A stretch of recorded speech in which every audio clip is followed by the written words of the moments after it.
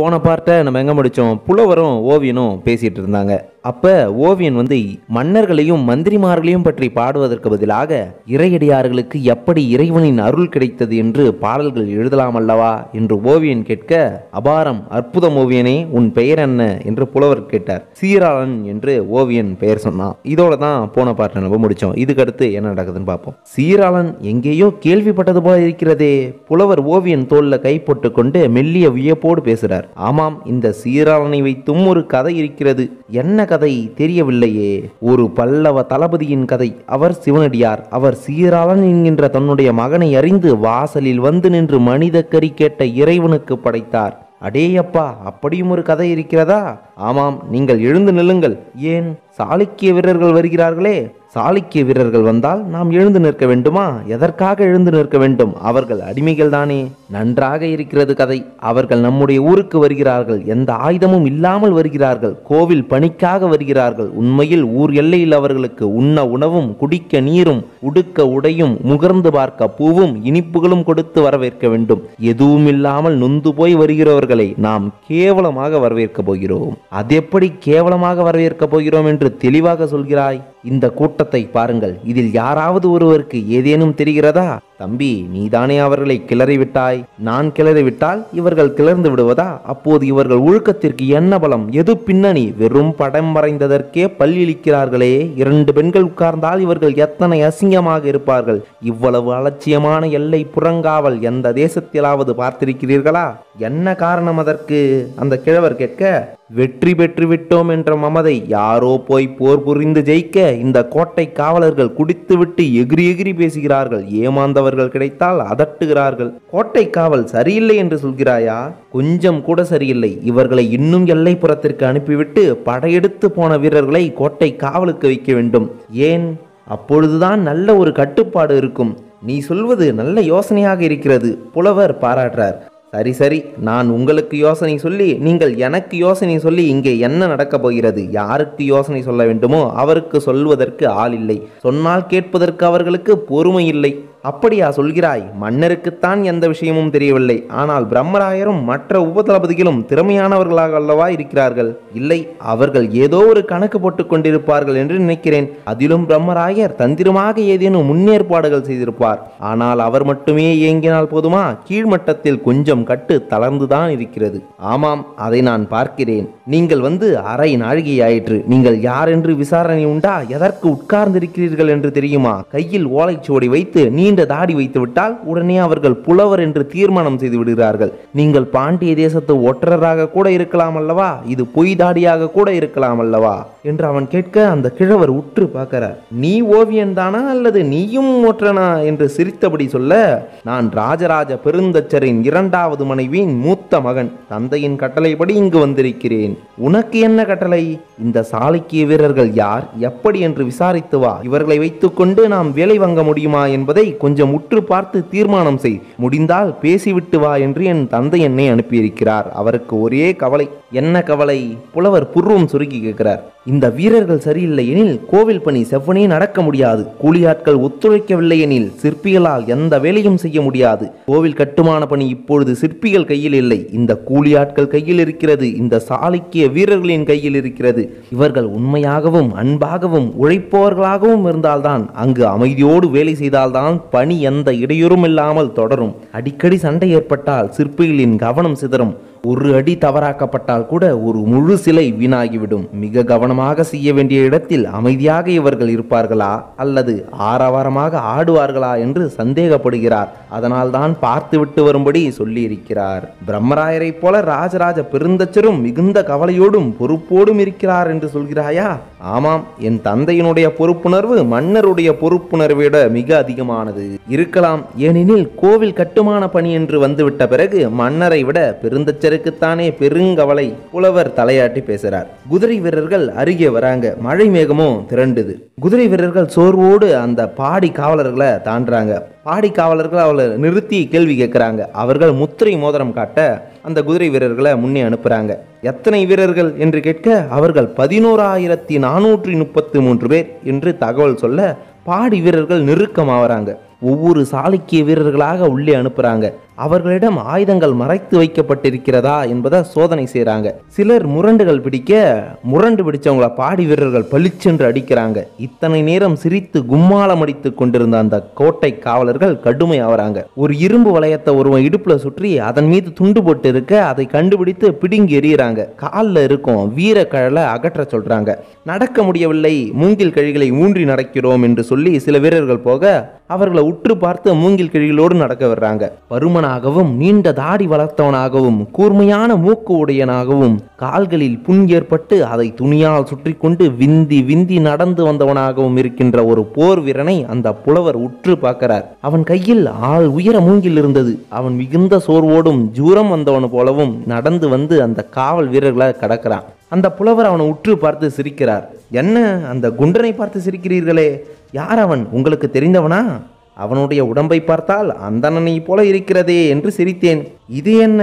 அந்தணருக்கென்று தனியாக உடம்பு இருக்கிறதா? ஆமாம் போர் செய்யாமல் யாகத்தீயில் காய்ந்த உடம்பு வேறு விதமாக இருக்கும். யாகத்தீயில் உட்கார்ந்தவனுக்கு பசி அதிகம் இருக்கும் அப்படி பசி அதிகம் இருப்பவன் வேகமாக சாப்பிடுவான். வேகமாக சாப்பிடுவோனுக்கு மேல் வயிறு அதிகமாகும். பிருஷ்டத்தில் அதிக சதைகளும் இருக்கும். அவன் யாகம் செய்து சோறு தின்பவன். அதே சமயம் ஆயுத வேலைகளிலும் அவன் பழகி இருக்க வேண்டும். அந்தணனாக இருப்பவன் ஆயுத வேலை பழகி இந்த பக்கம் கால் சுற்றி விந்தி விந்தி வருகிறான் என்றால் இது கவனிக்கப்பட வேண்டிய விஷயம். ஆனால் யாரும் கவனித்ததாக தெரியவில்லையே. இல்லை கவனித்துக் கொண்டுதான் இருக்கிறார்கள். யார்? ஒற்றர்கள் சுற்றி இருக்கிறார்கள். எப்படி உங்களுக்கு தெரியும்? நானும் ஒரு ஒற்றன்தான். நீங்கள் புலவர் அல்லவா? இல்லை நான் நினைத்தேன். என்ன நினைத்தாய்? இந்த தாடி பொய்யாக இருக்கிறதே என்று நினைத்தேன். நல்லது இது பொய் தாடிதான். ஆனால் வெளியே சொல்லாதே எனக்கு நீ ஒரு உதவி செய்ய வேண்டும். என்ன? அந்த குண்டனிடம் போய் பேச வேண்டும். எப்படி பேசுவது? ஏதேனும் இங்கு ரகளை செய்துவிட்டு அடி வாங்கு. அவர்கள் உன்னை கைது செய்து மறுபடியும் நகரத்திற்கு அனுப்புவார்கள். அப்போது அவனோடு போ. இது தவிர என்று அந்த புலவர் இருக்க இது தவிர மழை வரும் போல இருக்கிறது. அதனால் என்ன? இவர்கள் எங்கு தங்குவார்கள் என்று தெரியவில்லை. அதனால் என்ன? இந்த நேரம் இவர்கள் கோபமாக இருப்பார்கள். நல்ல உணவும் சரியான இடமும் படுத்து தூங்க வசதியும் இல்லாததால் கோபமடைவார்கள். அந்த கோபத்தில் இவர்கள் அதிகம் பேசக்கூடும். அப்போது நீ அருகிலிருந்து இவர்கள் என்ன பேசுகிறார்கள் என்று எனக்கு தெரிவிக்க வேண்டும். ஒற்றருக்கு நான் ஒற்றர் வேலை பார்க்க வேண்டுமா? எனக்கு வேறு வேலை இல்லை என்று நினைத்தாயா? நான் குடந்தை போக வேண்டும். ஓவியர்களுக்கான துணிகளை சேகரித்து வர வேண்டும். இது என் கட்டளை நான் சொன்னதை செய். எனக்கு கட்டளையிட நீங்கள் யார்? சீராளா நான் உனக்கு கட்டளையிட உரிமை உள்ளவன் உன் தந்தைக்கு கட்டளையிட உரிமை உள்ளவன் எனவே சொன்னதை செய். இத்தனை நேரம் மிருதுவாக இருந்த குரல் டக்குன்னு கர்ஜனையா மாறுது. சீராளன் திகைத்து அவரை உற்று பார்க்கறான். கண்டுபிடிக்க முடியாம திணறான். அவன் திணறலை பார்த்த அந்த புலவர் அதாவது அந்த ஒட்டர் வாய் விட்டு சிரிக்கிறார். அந்த சிரிப்பு சட்டென்று சீராளனுக்கு எதையோ ஞாபகப்படுத்துது. மன்னரா என்று உரத்து கத்த அவர் உஷ் என்று அவன் வாய் மீது விரல் வைத்து எழுத்துறார் சொன்னதை செய். உடையாரை இத்தனை அருகில் நின்று பார்ப்பேன் என்று நினைக்கவே இல்லையே. உங்களுக்கு அருகே இவ்வளவு நேரம் உட்கார்ந்திருந்தது எவ்வளவு பெரிய பாக்கியம். சீராளா பரஸ்பரம் பாராட்டிக் கொள்ள இது நேரமில்லை. போ போய் ரகளை செய். நீயும் நானும் வேறொரு நேரத்தில் அருகே அருகே உட்கார்ந்து வெகு நேரம் வேலை செய்ய போகிறோம். நிறைய ஒருவரை ஒருவர் தெரிந்து கொள்ள போகிறோம். இப்போது இந்த போர் வீரர்களை பற்றிய கவலை எனக்கு அதிகம் இருக்கிறது. குறிப்பாக அந்த குண்டனை பற்றிய கவலை எனக்கு இருக்கிறது. உடனடியாக உன் உதவி வேண்டும். ஐயா எந்த பாதுகாப்பும் இல்லாமல் தனியே இருக்கிறீர்களே. இல்லை என் பாதுகாப்புக்கு எனக்கு உடைவாள் இருக்கிறது. கவலைப்படாதே. மறுபடி உங்களை நான் எங்கு வந்து சந்திப்பது? நீ சந்திக்க வேண்டாம் நான் உன்னை சந்திப்பேன். போ போய் கலவரம் செய். ஓவியன் எழுந்திருக்கிறான். ஒரு சாலைக்கு வீரனிடம் போய் நலமா? என்று கேட்கிறான். அந்த சாலைக்கு வீரன் திரும்பி நிற்க உங்களைத்தான் நலமா? எப்படி இருக்கிறீர்கள்? உங்கள் ஊர்கோவிலுக்கு நான் வந்திருக்கிறேன் என்று உறக்க சொல்ல அந்த கைதி திகைத்து பார்க்க பாடிக்காவல் வீரன் ஓவியனை சற்று பின்னே நகர்த்துறான். அடே நான் பேசிக்கொண்டிருக்கும் பொழுது என் மீது கை வைத்து ஏன் பின்னே நகர்த்துகிறாய்? அங்கு கலவரம் துவங்குது. பாடிக்காவல் வீரன் மறுபடியும் பின்னால் அவனை நகர்த்த ஓவியன் முன்னேறி சட்டென்று அந்த வீரன் முகத்தில் அடிக்கிறான். அங்கு கைகலப்பு ஏற்படுது. ஒரு வீரன் பாய்ந்து ஓவியனை அழுத்தி அவன் முகத்தில் அடிக்கிறான். கொண்டு போய் மறுபக்கம் குவிந்திருந்த சாலிக்கிய வீரர்களிடம் தள்ளுறான் நகரத்தை விட்டு நீ வெளியே போக முடியாது. உன் மீது விசாரணை இருக்கிறது என்று உறக்க கத்துறான். ஓவியன் மறுபடியும் திமிர ஒருவன் வேகமாக வந்து ஓவியனோட காலில் பிரம்பால அடிக்கிறான். அடித்த இடத்திலிருந்து ரத்தம் வருது. புலவர் எழுந்து இதெல்லாம் பார்த்து விட்டு மறுபடியும் வடக்கு நோக்கி மெல்ல நடந்து போறார். எந்த பாதுகாப்பும் இல்லாமல் மன்னர் உடையார் ஸ்ரீ ராஜராஜதேவர் வடக்கு நோக்கி தனியே நடந்து போவதை பார்த்த அந்த ஓவியனுக்கு ஒரு சிறிய கலவரம் ஏற்படுது. பாடிக்காவல் வீரர்களில் எவரேனும் ஒருவரை உலுக்கி அங்கே போவது மன்னர் பின்னால் அவர் அறியாமல் பாதுகாப்புக்கு போ என்று சொன்னால் என்ன என்று தோன்றியது. ஆனால் காவல் வீரர்கள் அநேகமாக முட்டாள்களாக தானே இருப்பார்கள். உடனே பதறி அடித்து பெருங்குரல் கொடுப்பார்கள். மன்னர் போகிறார் மன்னர் போகிறார் என்று அலறுவார்கள். அத்தனை பேரும் அவரை சூழ்ந்து கொள்வார்கள். மன்னரா என்று சோதிப்பார்கள். அப்படி சோதிப்பதில் அதீத வேகம் காட்டுவார்கள். மன்னருக்கு தான் என்ன செய்கிறோம் என்று தெரியும். அதனால்தான் அவர் கவலையில்லாமல் நடந்து போய் கொண்டிருக்கிறார். ஓவியனை பாடிக்காவல் வீரர்கள் அடிமை வீரர்களோட சேர்த்து நிறுத்துறாங்க. மன்னர் சுட்டிக்காட்டிய அந்த குண்டன்ல இருந்து நாலு வீரர்கள் தள்ளி ஓவியன் நின்று கொள்றான். தலை குனிந்து மிகவும் அவமானப்பட்டவன் போல அவர்களோடு கலந்து கொள்றான். யார் நீ? என்ன தேசம்? அருகே இருந்த வீரன் கேட்க நான் சோழ தேசம்தான் என்று பதில் சொல்றான். பிறகு உன்னை ஏன் இப்படி மாடு போல அடிக்கிறார்கள்? இந்த பாடிக்காவல் ஆட்கள் முட்டாள்கள். இவர்களுக்கு தாங்கள் என்ன செய்கிறோம் என்று ஒருபோதும் தெரிவதில்லை. நீ இங்கு என்ன தொழில் செய்கிறாய்? ஓவியன். ஓவியம் வரைகிறவனையா ஒரு பாடிக்காவல் வீரன் அடிக்கிறான்? என்ன முட்டாள்தனம் இது? என்ன விதமான ஓவியம் வரைகிறாய் நீ? சிற்பம் செதுக்குவதற்கு முன்பு அந்த செதுக்கிய சிற்பம் ஓவியமாக வரையப்பட வேண்டும். மாதிரி ஓவியங்கள் வரைவதற்காக நான் பயிற்சி எடுத்துக் கொண்டிருக்கிறேன். என் தாயும் தந்தையும் அதில் வல்லவர்கள். ஆஹா உயர்குடி பிறப்பல்லவா வேலை தெரிந்தவர்கள் அல்லவா? உங்களுக்கே இந்த கதியா? ஏன் இப்படி நடக்கிறது சோழ நாட்டில்? அந்த சாலைக்கு வீரன் உறக்க குறான் என்ன செய்வது? பல்வேறு யுத்தங்களில் ஜெயித்து பல்வேறு வெற்றிகளை கொண்டு வந்து சோழ மன்னர் காலடியில் கிடத்தி பொன்னும் பொருளும் வாரி வந்து அவைகளையும் கடைபரப்பி கடந்த பத்து வருடங்களாக மக்கள் மக்களால் கொண்டாடப்பட்டு வருகிறார்கள் இந்த போர் வீரர்கள். அதனால் என்ன? யார் வேண்டுமானாலும் யாரை வேண்டுமானாலும் அடித்து விடலாமா? எங்கள் தேசத்தில் பாடகர்களுக்கும் நடனம் ஆடுபவர்களுக்கும் ஓவியர்களுக்கும் சிற்பிகளுக்கும் மிகுந்த மரியாதை. நீ மேலை சாளிக்கியவனா? ஆமாம் நன்றாக தமிழ் பேசுகிறாயே. மூன்று வருடம் கைது செய்யப்பட்டு திருவொற்றியூரில் இருந்தவன் அல்லவா தமிழ் பேசுவதற்கு என்ன கேடு? வேறு என்னதான் அங்கு கற்றுக்கொள்வது? குடும்பத்தை பிரிந்து மூன்று வருடங்கள் ஆயிற்றா? நான்கு வருடம் ஆயிற்று. முதல் வருடம் என்ன செய்து கொண்டிருந்தாய்? எங்கள் தேசத்திலேயே எங்களை சிறை வைத்திருந்தார்கள். போர் வெகு நேரம் நீடித்ததா? இல்லை கால் நாழிகை போர் அது. எப்படி நடந்த போர்? மேல்பாடிக்கு இரண்டு கல் தொலைவில் சோழ வீரர்கள் எதிர்கொண்டார்கள். கை கலப்பு முடிந்த சில நிமிடங்களில் எக்காலம் மூதப்பட்டது. சோழ வீரர்கள் மிக வேகமாக பின்னடைந்தார்கள். தோற்றுவிட்டது போல தலை ஓடினார்கள். நாங்கள் குதூகலம் அடைந்தோம் நாங்களும் துரத்தி கொண்டு ஓடினோம். தண்ணீர் இல்லாத ஒரு ஆற்றில் இறங்கி அவர்கள் ஓட அவர்களை நாங்கள் துரத்தினோம். ஆனால் இரண்டு கல் தொலைவு போனதும் மேல்பாடி எல்லையில் சட்டென்று நின்று கொண்டார்கள். இரண்டு கரைகளிலும் வீரர்கள் தோன்றினார்கள். ஒரு லட்சம் வீரர்களை எதிர்கொள்ள வேண்டிய நாங்கள் ஓடி வந்து மூன்று லட்சம் வீரர்களை எதிர்கொண்டோம். கால் நாழிகை அங்கு யுத்தம். யுத்தம் ஆரம்பித்த உடனேயே தெரிந்துவிட்டது. நாங்கள் தவறு செய்து விட்டோம் என்று துரத்தி ஓடியிருக்க கூடாதென்று புரிந்துவிட்டது. சோழ வீரர்களின் தந்திரத்தை புரிந்து கொள்ளக்கூடிய சேனாதிபதி எங்களில் இல்லை. வெறும் குடித்துவிட்டு கூடும் வெறியோடுதான் இருந்தார்கள். எங்களில் சிலருக்கு இதில் மிகுந்த வருத்தம் நல்ல தலைமை இல்லையே என்கின்ற வேதனை. எனவே சோழ வீரர்கள் அதட்டியவுடன் வாட்களை கீழே போட்டுவிட்டு குத்திட்டு உட்கார்ந்து அழத் துவங்கி விட்டார்கள் அழுத வீரர்களை சோழ வீரர்கள் தனியே அப்புறப்படுத்தி உட்கார வைத்து கஞ்சியும் துவையலும் கொடுத்து சமாதானப்படுத்தினார்கள். எதிர்த்தவர்களையும் வீரம் பேசியவர்களை மட்டுமே கசையால் அடித்தார்கள் சிறு சிறு குழுக்களாக பிரித்து திருவொற்றியூருக்கு அழைத்து போனார்கள். அங்கு கடற்கரை மணலில் சவுக்கு கட்டைகளால் மிகப்பெரிய வேலி போட்டு திறந்த வெளி சிறைச்சாலை அமைத்தார்கள். எப்போதும் திறந்த வெளியிலா இருந்தீர்கள்? ஓவியன் கேட்க ஆமாம் கைதிகளுக்கு கூரை போட்டு கட்டிலும் மெத்தையும் போட்டு யாரேனும் கொண்டாடுவார்களா? வேலைக்கு உணவு கிடைக்கிறதே அதுவே பெரிய விஷயம். மேலை சாலைக்கே சிறையில் உணவில்லாமல் மடிந்த வீரர்களின் கணக்கு அதிகம் உண்டு ஓவியன் அதை கேட்டுவிட்டு பயத்தால மெய் சிலிர்க்கிறான். ஏன்னா இந்த மேலை எப்படி செய்வாங்கன்னா அதிகம் வீரம் பேசியவர்களை எதிர்த்து ஆர்ப்பாட்டம் செய்தவர்களை தனியாக கொட்டலில் போட்டு பல நாட்கள் உணவும் தண்ணீரும் இல்லாமல் ஆள் அரவம் இல்லாமல் வைத்து விடுவாங்க. ஐந்து நாள் ஆறு நாள் பொறுத்து உயிரோடு இருந்தால் திறந்து அவனை மற்ற கைதிகளோடு விடுவாங்க. இல்லையெனில் பிணமாக அவனை தூக்கி எறிவாங்க.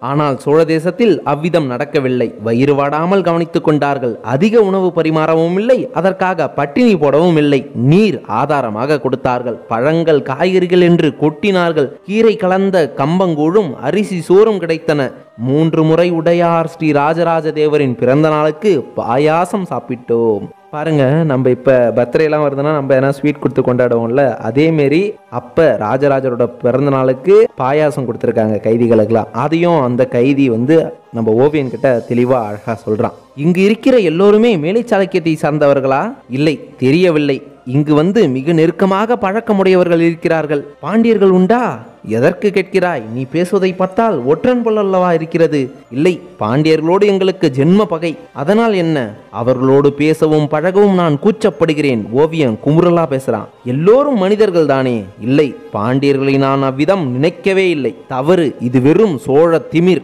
இல்லை மூன்று வருடம் சிறையில் சோழர்களுக்கருகே இருந்தும் ஏன் உன்னால் சோழர்களை புரிந்து கொள்ள முடியவில்லை? காரணம் சோழ வீரர்கள் உன்னை பாண்டிய வீரர்களுக்கு அருகே அனுப்பி இருக்க மாட்டார்கள். அதனால் பாண்டிய வீரர்களை பற்றி உனக்கு தெரியாமல் போய்விட்டது. அப்படி என்ன பாண்டிய வீரர்கள் மோசமாகிவிட்டார்கள் பாண்டிய வீரர்கள் துரோகிகள் சத்தியத்திற்கு கட்டுப்படாதவர்கள். தோற்றுவிட்டோம் என்று தெரிந்ததும் ஆற்றங்கரையில் நீங்கள் அனைவரும் வாளை போட்டுவிட்டு உட்கார்ந்து விட்டீர்கள். உங்களை சோழ வீரர்கள் மரியாதையாக நடத்தினார்கள். ஆனால் பாண்டிய வீரர்கள் வாளை போட்டுவிட்டு உட்கார்ந்திருக்க மாட்டார்கள். நேரம் கிடைக்கும் போது வாளை பறித்து கொண்டு முதுகில் குத்திவிட்டு ஓடிவிடுவார்கள். சரி பாண்டியர்களை பற்றி பேசுவது இருக்கட்டும். உங்களில் அனைவரும் மேலை சாளுக்கியத்தைச் சேர்ந்தவர்களாக இருக்கிறீர்களே உங்களில் பல பேரை விடுவித்ததாக சொன்னார்களே. ஆமாம் இளவரசர் ராஜேந்திர ரவிதம் பலமுறை கூறினார் எங்களுக்கு போக இஷ்டமில்லை. ஏன்? மேலை சாளுக்கியத்தில் சோழ தேசத்து மந்திரிமார்கள் தான் ஆட்சி செய்கிறார்கள். அவர்கள் வசம் தன்னை ஒப்படைத்த சாளுக்கிய குடும்பத்தை தான் அரச பதவியில் உட்கார வைத்திருக்கிறார்கள். அங்கு போய் என் பெண்டு பிள்ளைகளுக்கு முன்னால் சோழ அதிகாரிகளுக்கு கைகட்டி நிற்பதை விட இங்கு கைதியாக இருப்பது உத்தமம் என்று இங்கே இருக்கிறோம். பெண்டு பிள்ளைகளை பார்க்கின்ற ஆசை இல்லையா? இருக்கிறது. வயல்களை பார்க்கும் பொழுதெல்லாம் என் வயல் ஞாபகம் வருகிறது. நீ வேளாளனா? இல்லை நான் கல் தச்சன். என்ன?